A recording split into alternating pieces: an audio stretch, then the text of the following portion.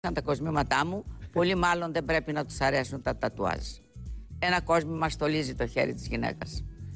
Και δεν φορούσα εξεζητημένα κουζ- ε, κοσμήματα. το δαχτυλίδι που μου χάρισε ο άντρας μου. Όταν θέλουν Το να γάμο πούνε μας. λένε, παρόλα αυτά τώρα μου μια είπατε για το κόσμημα, υπήρχε η φήμη ότι η Βέφα Αλεξιάδου έχει πάρα πολλά λεφτά, μπορεί να ζήσει και τα εγγόνια της για πολλά χρόνια. Είναι αλήθεια αυτό; Είναι αλήθεια. Έβγαλα πολλά χρήματα. Όχι γιατί ήμουν πλεονέκτης και μάζευα τα χρήματα και ε, πουλούσα ακριβά τα βιβλία μου. Τα βιβλία μου ήταν πάντοτε προσιτάς σε τιμή για τον κόσμο.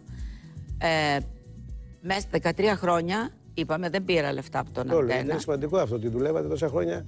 Προσέφερα τη δουλειά μου, κέρδισα όμως είπαμε φήμη, αλλά πήρα χρήματα όταν δούλεψα στο Μέγκα, στο Άλτερ και, στο, και στον Αλφα. Πληρώθηκα. Δε- δεν είμαι σπάταλη, δεν έκανα τρέλες να αγοράσω κότερα, να αγοράσω αυτοκίνητα ακριβά, να κάνω πλούσια και μεγάλη ζωή.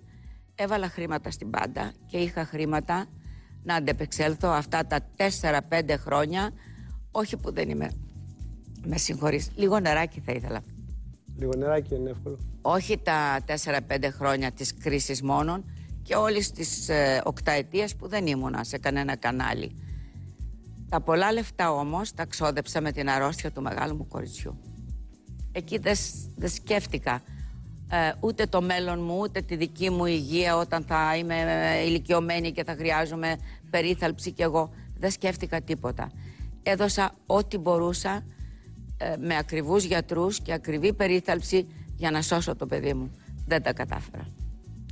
Δεν τα κατάφερα. Και αυτό είναι ένα κεφάλαιο μαύρο στην ε, ζωή σας και όχι μόνο το ένα παιδί σας δεν σώθηκε, σε μικρό χρονικό διάστημα χάθηκε και το άλλο. Πιείτε λίγο νεράκι. Και λόγω του ότι ε, ήρθε η κρίση και μας βάλανε χαράτσια και μας κόψανε συντάξεις. Είχα τον άντρα μου που έλεγε η γυναίκα μου δεν έχει ανάγκη.